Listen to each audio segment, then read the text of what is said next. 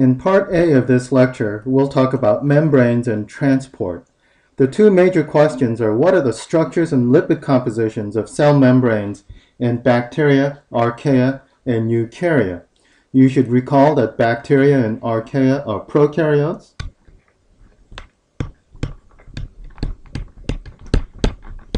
Meaning they have no real nucleus, and eukaryotes, of course, have nuclei.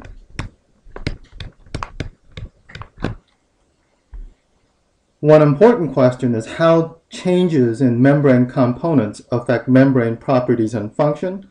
We'll talk about that. And of course, transport is one of the most important functions of cell membranes, and we'll talk about that in more detail. Biologists look at the cell membrane as a fluid mosaic. So uh, this is called a fluid mosaic model, and a model is a conceptualization based on the data. The fluid mosaic model has two parts. The mosaic part comes from the fact that the cell membrane consists of a mosaic of lipids. So the lipids form a bilayer, and we'll talk about that in more detail in just a minute.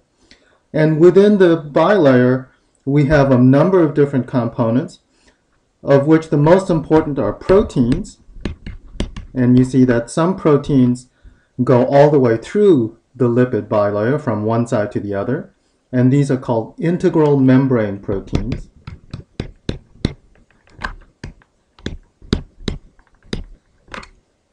And these domains, the part of the protein that's embedded in the membrane is an integral membrane domain. And if the part of the protein goes from one side all the way across to the other, then that is a transmembrane domain.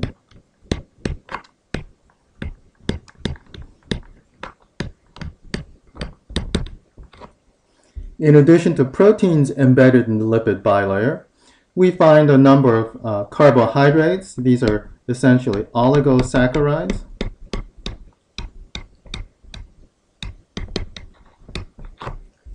And they may be covalently linked to lipids themselves or proteins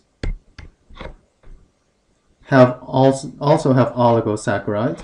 And proteins containing oligosaccharides are called glycoproteins.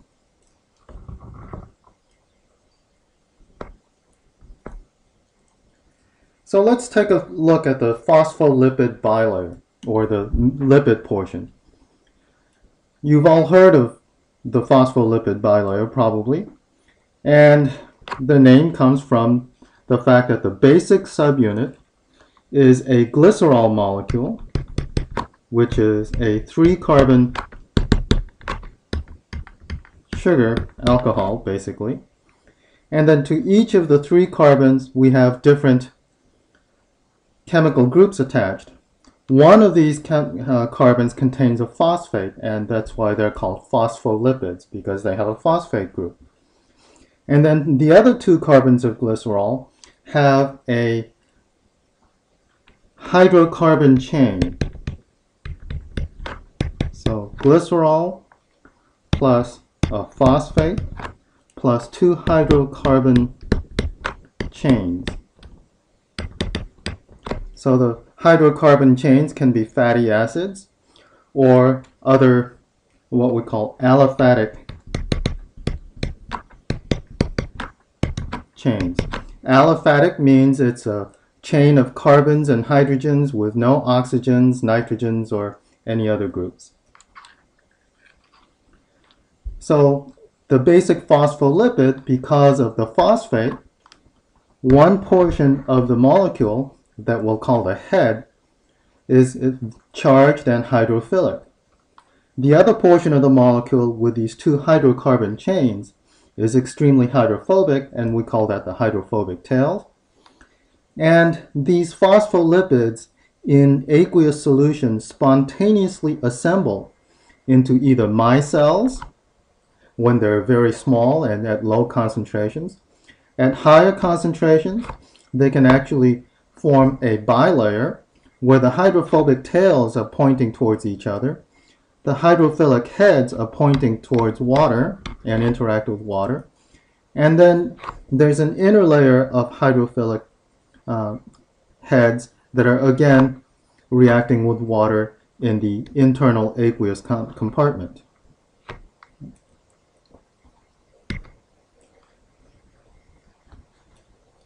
And then on the size of a cell membrane, what we see is the, uh, in effect, a bilayer sheet, which goes all the way around the cell and encloses the contents of the cell.